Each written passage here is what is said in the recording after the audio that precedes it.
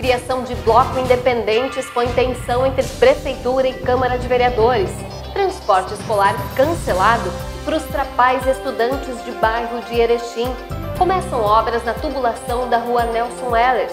Ipiranga estreia em casa daqui a pouco. E ainda, fim de semana, tem evento de velocidade na região. Essas informações você acompanha agora no Jornal da Sete. Boa noite. Um clima de tensão cercou a Prefeitura e a Câmara de Vereadores logo após o início das sessões legislativas deste ano, depois que vereadores que dão sustentação ao governo de Luiz Francisco Schmidt declararam independência. O grupo relatou descontentamento pela falta de diálogo entre os poderes. Criação do Bloco Independente partiu dos vereadores considerados da base aliada do atual governo de Erechim, André Jukoski, Araújo, Emerson Chelski, Enis Candolara, Flávio de Barcelos, Gilson Serafini e Renan Socol integram o movimento. A falta de comunicação entre governo e legisladores, a não participação em decisões e os rumores de uma proximidade da administração municipal com o MDB teriam motivado a criação do bloco independente. Desde que iniciou essa gestão, a gente pôde uh, presenciar essa dificuldade. Na época que eu era líder do governo, até tinha uma proximidade maior, porque eu corria bastante atrás de determinadas ações, às vezes tirar algum projeto que a gente tinha a impressão de que talvez não fosse passar na Câmara, ou até mesmo que não fosse positivo para o município. Aconteceu isso em algumas ocasiões. Então, naquele momento, a gente por estar com o encargo de ser líder do governo, a gente acabava ficando um pouquinho mais preso a essa situação e tentava também fomentar o diálogo que muitas vezes ocorria por conta da nossa iniciativa. Nesse segundo ano, eu, eu acho que não é, eu acho que é de conhecimento de todos que essa relação ela se deteriorou um pouquinho, houve esse maior afastamento, sobretudo algumas ações que nos passaram ao nosso conhecimento pela imprensa ao invés do de alguém do executivo nos comunicar e embora a gente pudesse concordar ou discordar delas, seria bom que a gente tivesse conhecimento delas antes que o restante da população, até para a gente dar a nossa opinião e a gente dar aquela nossa sugestão sobre o que poderia fazer ou deixar de ser feito. Nós também representamos o povo e nós gostaríamos de estar participando de algumas decisões que elas são assim, como eu vou te falar, o que, que, vai ser construído, de que forma vai ser, por que muda um secretário, por que não muda, para que nós pudéssemos estar participando, não exigindo cargos, nem querendo fazer, um, ter parte, mandando, determinando o que o senhor prefeito deve fazer, porque ele tem toda essa competência com sua equipe, mas que nós pudéssemos estar atuando de forma a darmos uma resposta para a sociedade naquilo que vai acontecer. Ah, nós vamos colocar um secretário, nós vamos trocar um secretário. Por quê? Sermos informados. Acho que isso é uma questão de respeito. Se chamassem e explicassem: olha, nós estamos fazendo isso por esta, esta, esta necessidade, talvez tivesse o entendimento. Tu notas, nós voltamos naquele ponto, a falta de talvez até uma consideração com aqueles que andaram juntos e que trabalharam e que deveriam ser informados por que está sendo feito isso. Talvez não houvesse nenhum ressentimento, mas simplesmente receber a notícia, isso deixa, gera um descontentamento. A grande falha é a questão da comunicação entre o executivo, o legislativo e os demais setores, inclusive os funcionários públicos, enfim. Mas uh, principalmente essa relação com, com o legislativo, existem questões importantes na cidade que nós precisamos discutir e já passou do tempo a questão do serviço de, de esgoto, essa, esse embrólio da Corsan, uma série de questões que nós precisamos resolver e nós queremos construir essa discussão, achar a melhor saída. Nós somos uma cidade onde as pessoas trabalham, onde as pessoas se dedicam à nossa cidade e nós queremos ajudar o executivo nesse sentido. E nós não obtivemos esse espaço. Essa questão do bloco de independência não é uma questão de briga por cargo. Né? Isso nunca norteou o meu trabalho, mas é, é a questão de busca por um espaço de discussão consistente sobre problemas que os erechinenses merecem que sejam resolvidos. O presidente do PSDB, Alain Festugato, disse que os vereadores sempre tiveram independência em relação ao executivo. A gente espera que daqui para frente a gente também consiga ser um pouquinho mais ouvido, que as nossas sugestões elas sejam também no mínimo discutidas pelo Poder Executivo e quando ele julgar interessantes e viabilizá-las sejam implementadas, porque a gente está fazendo todo o nosso trabalho pensando sempre no melhor do nosso município e no melhor da nossa população. Em nota, a assessoria de imprensa da Prefeitura disse que no momento não será dada declaração a respeito do assunto. As aulas na rede estadual de ensino iniciaram hoje. Mas para um grupo de estudantes que moram próximo à BR-153, a conhecida Transbrasiliana, o primeiro dia de aula vem acompanhado de frustração. O transporte que levava as crianças até a escola foi cancelado. Volta às aulas é sinônimo de alegria para muitas crianças. Rever colegas, amigos e professores é sempre uma diversão. Só que o primeiro dia de aula para essa turma aí não foi como esperado. É que o transporte escolar que levava as crianças até a escola foi cancelado. Na verdade, eles transformaram como área urbana aqui sem ninguém saber. Né? Nós não temos infraestrutura nenhuma. Né? Nós tivemos que pagar para ter algumas coisas que tem agora, como um asfalto até um pedaço, o resto é tudo estrada de chão. Aí nós temos a 15 quilômetros do colégio daqui, antes era área rural, agora eles transformaram como área urbana, e de área urbana não tem nada. Vamos ter que fazer um baixo assinado, vamos ter que legalizar isso aí para ver se era mesmo urbano ou área rural, porque para colocar como área urbana tem que ter alguma infraestrutura que, que que constate que é área urbana, entende? Não tem transporte público, não tem rede de esgoto, nós não temos, nós temos só coleta de lixo, água e luz. E na verdade nós não temos, não tem uma farmácia, não tem mercado perto, não tem uh, posto de saúde, nós não temos nada. Outros bairros têm. Então eles querem, eles querem comparar com um bairro, né, tudo infraestruturado e nós não temos nada.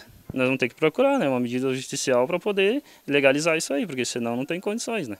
Tem bastante crianças aí, não dá para deixar elas sem aula, né?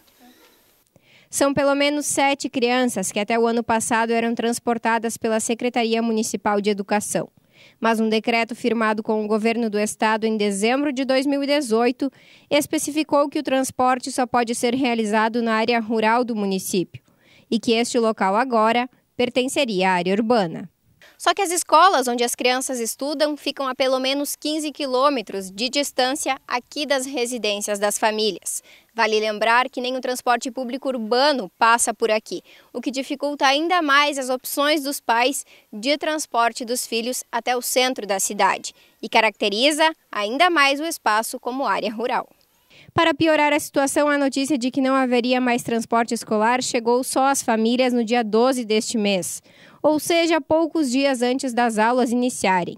Os pais buscaram ajuda na Câmara de Vereadores. O que a gente tem batalhado é para que o executivo entenda e, e, e utilize o bom senso até para não deixar essas crianças em dificuldade. Nós não temos um transporte urbano que possa trazer as crianças para as escolas, então a única saída deles realmente é vir com o ônibus do governo municipal que faz o transporte já dos indígenas, de outras crianças ali para as escolas aqui na cidade.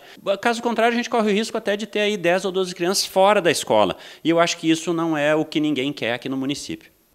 Em nota, a Prefeitura diz que o atendimento realizado pelo município está de acordo com um convênio firmado com o Estado e é oferecido para estudantes residentes na área rural do município, impossibilitando a execução de transporte escolar em área urbana, com exceção da educação especial. A Patrulha Ambiental de Erechim localizou hoje em Severino de Almeida um loteamento construído de forma ilegal. Conforme a polícia, o proprietário teria aberto ruas e feito a limpeza da área sem licença ambiental. Os rejeitos ainda teriam sido descartados em um rio próximo. O proprietário do loteamento foi notificado. Além da multa, ele vai responder a inquérito criminal. Iniciaram hoje as obras na tubulação da rua Nelson Ehlers, no centro de Erechim. As obras da troca de tubulação da rua Nelson Elleres, no centro de Erechim, começaram nesta quarta-feira. As equipes da prefeitura realizam primeiramente a abertura do asfalto, para posteriormente a Corsã fazer o conserto da tubulação. O trânsito pela via deverá ser interrompido por completo nos próximos dias.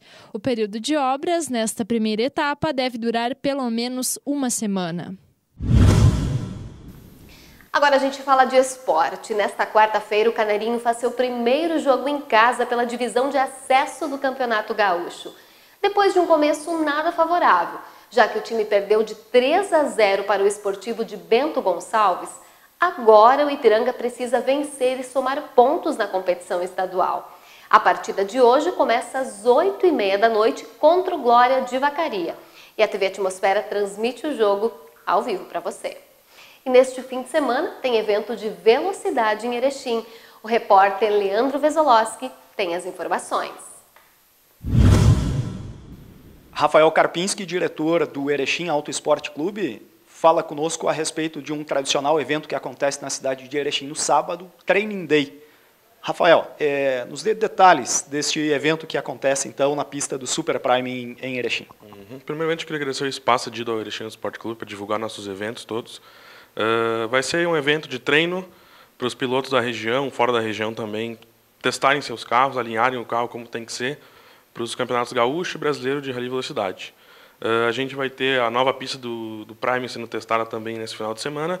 O evento acontece das 13 horas às 18, aberto ao público, não tem, não tem custo nenhum para o público. Vai ter lá água, comida, tudo lá, tudo para o pessoal comprar se quiser. E vai ser, uma, vai ser bem legal para todo mundo que gosta de rally assistir.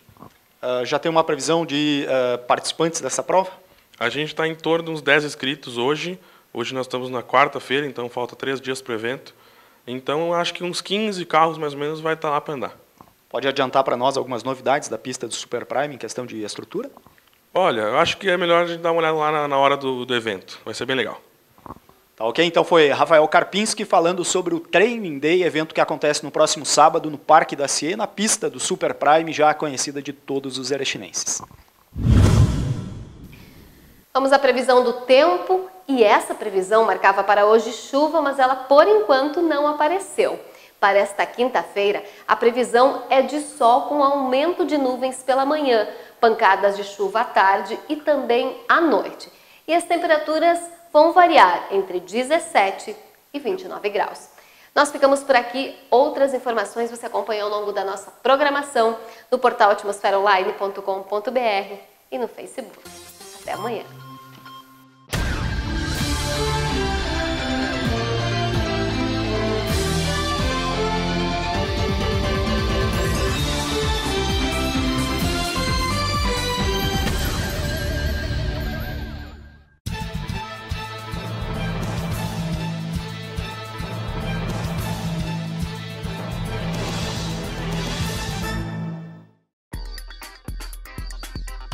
Você escolhe o que quer assistir e quando assistir. Você ouve o que quer e quando quer. A gente sabe que você está conectado. A gente sabe que você está ligado. Vestibular URI. Dê um play na sua carreira. Inscrições até 20 de novembro. Prova única, dia 25 de novembro.